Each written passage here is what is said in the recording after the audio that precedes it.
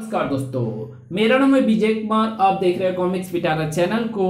तो चलिए दोस्तों, हम लोग कॉमिक्स पढ़ रहे थे फ़ैशन किलर जो कि तिरंगा की कॉमिक्स है। इसका पहला और दूसरा पार्ट मैंने अपने चैनल पर अपलोड कर दिया है। पहले और दूसरे पार्ट में मैंने इस कॉमिक्स को 40 पेज तक कवर कर दिया था। अब इस पार्ट में इसके आगे कहानी को शुरू करते हैं।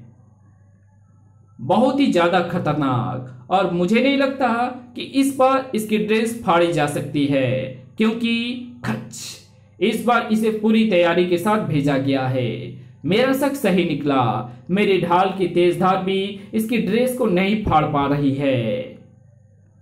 और ना मेरे प्रचंड वार इस पर असर कर रहे हैं। इसके होश ठिकाने लगाने के लिए तो कुछ और सोचना होगा। ये जर्जर दीवार ठीक रहेगी, जिसके पास वो खड़ा है। तिरंगा के हाथ से छूटी ढाल ने कई सौ साल पुराने उस दीवार के अस्तित्व को हिला डाला। भड़ाक। दूसरे क्षण वो दीवार भरभरा कर उस मुसीबत पर आ गिरी। दीवार के मलबे ने उसे अपने नीचे दबा लिया है, लेकिन क्या वो मलबा उसे दबाए रख पाएगा? शायद नहीं।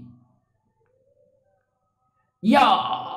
ओफ इसे मलबे के नीचे दबाकर शांत करने का आइडिया फेल हो गया। तो कुछ और सोचना होगा। धड़ाक।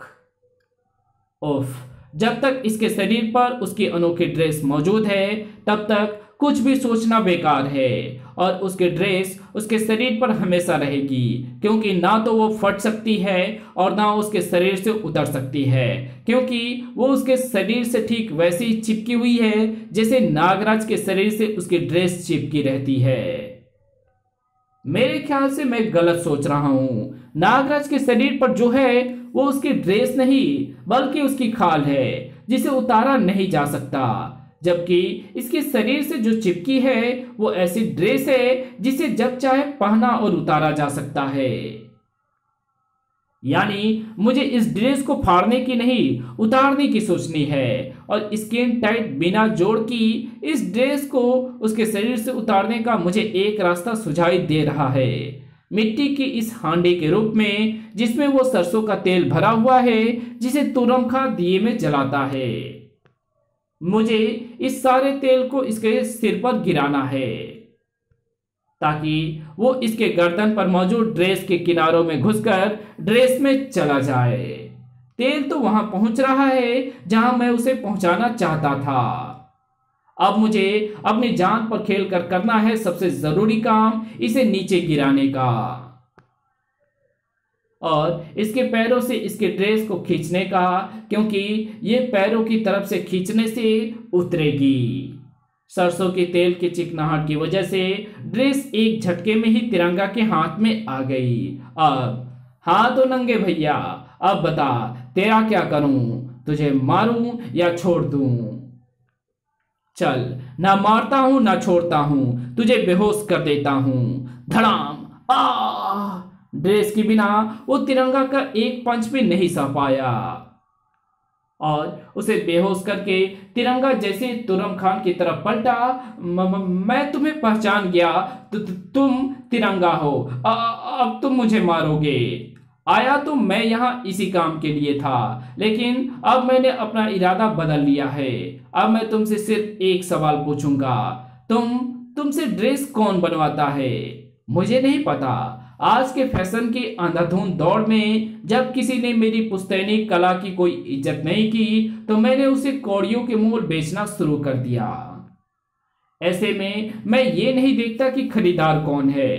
ओह, इसलिए जब मैं यहाँ आया तो तुमने मुझे खरीदार का आदमी समझा। लेकिन तुम यहाँ आए क्यों थे? इसकी लंबी कहानी है। संक्षेप में इतना समझ लो कि तुम्हारी बनाई ड्रेसों के बल पर कोई बहुत बड़ा खेल खेल रहा है। और निशाना तुम्हें बनाया जा रहा है। और ऐसा मैं इसलिए कह रहा हूँ क्योंकि एक तो इस हमलावर का संबंध तुरम खान से नहीं है। और दूसरा, तुरम खान जैसा जो शख्स थोड़े से रुपयों के लिए अपने बनाई ड्रेसों को बेच सकता है, वो अपराधी हरगिज नहीं हो सकता। क्योंकि अपराधी द्वारा इस्तेमाल की जाने वाली ड्रेसों में केमिकल और आधुनिक पद्धति से लगाई जाने वाली सुइयों को वही लगवा सकता है जो लाखों में खेलता हो। और क्या वो ये सिर्फ़ इसलिए कर रहा है क्योंकि वो फ़ैशन डिज़ाइनर नीतू बेरी की हत्या करना चाहता है? वो कौन है? नहीं, यहाँ मुझ पर होने वाला हमला बता रहा है कि मामला सीधा नहीं है। इसमें कोई राज छिपा हुआ है, कोई बहुत ही गहरा राज, और मुझे इस राज की तह तक पहुँचना है। और वहाँ पहुँचने में ये शायद मेरी मदद कर सके। नहीं, इस मामले में फ़िलहाल तो ये तुम्हारी कोई मदद नहीं कर सकता, तिरंगा, क्योंकि पिछले हमलावर की तरह इसका भी दिलो दिमाग सुन होकर रह गया है। और ऐसा हुआ है, ताकत बढ़ाने वाले उन केमिकलों की वजह से जो इनके ड्रेसों में लगी सुइयों के ज़रिए इनके शरीर तक पहुँचे। इनके दिलो दिमाग से जब उन केमिकलों का असर खत्म होगा, तभी कुछ हो सकता है। और उस असर को खत्म होने में काफ़ी समय लग सकता है। यानी मुझे मुख्य अपराधी तक पहुँचने के लिए कोई दूसरा रास्ता खोजना होगा। लेकिन कैसे? तिरंगा अपने मंजिल पर पहुँचने के लिए दिमाग लगा रहा था, पर कुछ को अपने मंजिल पर पहुँचने के लिए दिमाग लगाने की ज़रूरत नहीं पड़ती। क्योंकि वे अपने मंजिल तक पहुँचने का रास्ता जानते हैं और उस रास्ते पर मौजूद रुकावटों को कैसे दूर किया जाता है, ये खूब जानते हैं। उफ। ओ एक और ड्रेस किलर ये भी नीतू बेरी को मारने आया है। हमला करो इस पर। आ रास्ता साफ़ था। मंजिल सामने थी फ़ैशन डिज़ाइनर नीतू बेरी के रूप में। न, न, नहीं म, म, मेरे पास मत आओ। मौत को अपने पास आने से कोई नहीं रोक पाया। तू कैसे रोक पाएगी? नहीं म, म, मैं मरना नहीं चाहती। मैं मरना नहीं चाहती। कोई मरना नहीं चाहता लेकिन इस तरह भागकर कोई मौत से बच भी नहीं सकता। खच आ! मौत ने नीतू बेरी को अपनी आगोश में ले लिया था। ऐसे में उसके प्राण पखेड़ू उड़ने ही थे। उसके शरीर को बेजान होना ही था। दैनिक पॉइंट ऑफ़ दिल्ली, मशहूर फ़ैशन डिज़ाइनर नीतू बेरी की हत्या, संध्या क्राइम कवरेज। आखिर ड्रेस किलर नीतू बेरी को मारने में सफल हुआ। विस्फोटक खबर थी वो। उन सबके लिए जो नेतू बेरी के शुभचिंतक थे। उफ, ये क्या हुआ? जो भी हुआ, बहुत बुरा हुआ। और वो जो नीतू बेरी के दुश्मन थे, आखिर नीतू बेरी मारी ही गई, मरना ही था उसे। क्योंकि अगर वो नहीं मरती तो उसे फ्रांस में अपने डिज़ाइन की गई तो उसे फ्रांस में अपने डिज़ाइन की गई, ड्रेसों की कंसाइनमेंट भेजने का मौका मिल जाता। जबकि यह मौका मुझे चाहिए था। नीतू बेरी की मौत के बाद यह मौका मुझे मिल गया। लेकिन बॉस एक बात समझ में नहीं आई। नीतू बेरी को मारने वाला ड्रेस किलर तो हमने भेजा ही नहीं था। नहीं भेजा था? तो क्या हुआ? वो मरी तो मेरा काम तो नीतू बेरी के मरने से ही हल हो गया। नहीं हुआ क्योंकि मैं अभी ज़िंदा हूँ। तो तू तू तू ज़िंदा है? ये, ये नहीं हो सकता। हम सबने अखबार में तेरी लाश की फ़ोटो देखी है, तेरे मरने की खबर पढ़ी है। उससे क्या होता है? क्या लाश बनकर फ़ोटो नहीं खिंचवाई जा सकती? क्या मरने की झूठी खबर नहीं उड़ाई जा सकती? तिरंगा तो तू यहाँ कैसे? तो उस तक पहुँचने के लिए ये सारा खेल मेरा ही रचा हुआ था। जब मुझे किसी भी तरह तुझ तक पहुँचने का रास्ता नहीं मिला तो मैंने तुझ तक पहुँचने के लिए तेरे मकसद को पूरा करने का फैसला कर दिया। और उसके लिए मैंने नीतू बेरी और पुलिस के साथ मिलकर एक प्लान बनाया, जिसके मुताबिक मैंने ड्रेस किलर बनकर नीतू बेरी की हत्या कर दी और ये खबर अखबारों में छपवा दी। मैं जानता था कि इस खबर को सुनकर तू बहुत खुश होगा। नीतू बेरी की मदद से मैं पहले ही इस बात पर नज़र रखे हुए था कि आखिर फ़ैशन बिज़नेस से जुड़े किस शख्स को नीतू बेरी की मौत से सबसे ज़्यादा फ़ायदा हो सकता है? और वो तुम निकले। तुम यानी फ़ैशन इंस्टीट्यूट के director Sandeep Chopra. Oh no, sir आप! इस नकाब के पीछे आप निकलोगे? मुझे यकीन नहीं हो रहा। लेकिन मैं इस बात को पहले ही जान गया था, क्योंकि जब मैं अपराधी तक पहुँचने के सिलसिले में संदीप चोपड़ा से मिला था तो उसने छुप तो उसने छूटते ही अपराधी के रूप में तुरम खान का नाम बता दिया था, जहाँ इसने अपना ड्रेस किलर भेजकर मुझ पर हमला करवाया। ये सब आपने क्यों किया, सर? इसका जवाब भी मैं ही देता हूँ। असल में तुम्हारे ये सर तुम्हारी जगह अपने ड्रेस कंसाइनमेंट को फ्रांस भेजना चाहते थे। और ऐसा तब तक नहीं हो सकता था जब तक तुम रास्ते से नहीं हट जाती।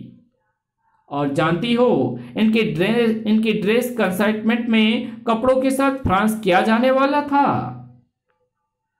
रक्षा विभाग से उड़ाए गए हमारे देश के वे महत्वपूर्ण राज, जिनके बल पर हमारे देश की सुरक्षा व्यवस्था को चुटकियों में ध्वस्त किया जा सकता है। Oh my god! देखो, उन सीक्रेट फाइलों के पन्ने को बड़ी सफ़ाई से फ्रांस जाने वाली ड्रेसों में सिल दिया गया है। क्योंकि अत्यधिक चौकसी के कारण किसी दूसरे तरीके से इन सीक्रेट्स को देश से बाहर नहीं ले जाया जा सकता। इसलिए तुम्हारे सर ने इन्हें बाहर भेजने का ये नया तरीका ढूंढ निकाला है। और ये तरीका सफल भी हो जाता। अगर मैंने तुम्हारे सारे अगर मैंने तुम्हारे मारे जाने की योजना बनाकर इसे तुम्हारी तरफ़ से निश्चिंत करके इसके गोदाम में रखी इन ड्रेसों की छानबीन बारीकी से नहीं की होती। तो ओह, चाल तूने बहुत अच्छी चली तिरंगा, लेकिन अफसोस, मुझे पासे पलटने आते हैं। आ, नन नन न आगे मत बढ़ियो नहीं तो इसकी मौत का जिम्मेदार तू होगा। ओह, संदीप चोपड़ा की धमकी ने तिरंगा के पैरों को फर्श से चिपका दिया। अगले पल, संदीप चोपड़ा के हाथों से उछली एक कपड़ा तिरंगा के शरीर से चिपक गया। तू बहुत कुछ जान गया है तिरंगा, इसलिए तेरा मरना बहुत ज़रूरी है। और तुझे मारेगा खास ड्रेस के लिए तैयार किया गया यह खास कपड़ा। ये इंसानी शरीर से चिपकने के बाद तब तक नहीं छूटता, जब तक इस ड्रेस में लगी छोटी छोटी जहरीली सुइया इंसान को तड़पा तड़पा कर नहीं मार डालती। संदीप चोपड़ा की बात खत्म होने के साथ ही तिरंगा के शरीर में तड़पन शुरू हो गई। आ! छिपकेली की कटी पोच की तरह तड़पता तिरंगा नीचे आ गिरा।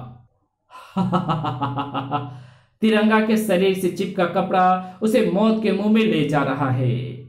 आओ, हम अपनी अरबों रुपए की ड्रेस कंसाइनमेंट लेकर फ्रांस रवाना होते हैं। मुझे छोड़ दो, मैं तुम्हारे साथ नहीं जाऊँगी। चलना तो तुझे पड़ेगा, बेबी, क्योंकि तू हमारी यहाँ से निकलने की गारंटी है। धार जब लड़की साथ नहीं जा रही है तो क्यों उसके पीछे पड़े हो? धड़ाक। आ, तिरंगा, तू तू बच गया। ये ये नहीं हो सकता। क्यों नहीं हो सकता? जब बचाने वाली तेरी ड्रेस हो तो क्यों नहीं हो सकता? ये देख, ये तेरी ही बनाई वो स्किन टाइट ड्रेस है, जिसे मैंने तेरी ही ड्रेस की लड़के शरीर से उतारा था। मैं इसे अपने ड्रेस के नीचे पहनकर इसलिए आया था क्योंकि मुझे पहले से ऐसे किसी खतरे का अंदेशा था। इसी की वजह से उस कपड़े की जहरीली सुइयाँ मेरे शरीर तक नहीं पहुँच पाई। वो तड़पने का नाटक तो मैंने तुझे अपनी तरफ़ से बेफिक्र रहने के लिए किया था, ताकि इस ड्रेस से आखिर इस ड्रेस ने अपना काम कर दिया मुझे बचाने का और तो जैसे देश के दुश्मनों को जेल पहुँचाने का, और वहाँ तू अकेला नहीं, अपने इन साथियों के साथ जाएगा। धाड़ जल्दी तिरंगा ने सभी को बेहोशी की दुनिया में सुला दिया, जो जेल की सलाखों के पीछे ही टूटनी थी। अब मेरी समझ में नहीं आ रहा तिरंगा कि मैं तुम्हारा एहसान कैसे उतारूं। मेरे साथ चलो, बताता हूँ। जल्दी तुरम खा जैसे नया ड्रेस डिज़ाइनर को अपने साथ फ़ैशन डिज़ाइनिंग करने का चांस देकर तुम मेरे एहसान को चुका सकती हो।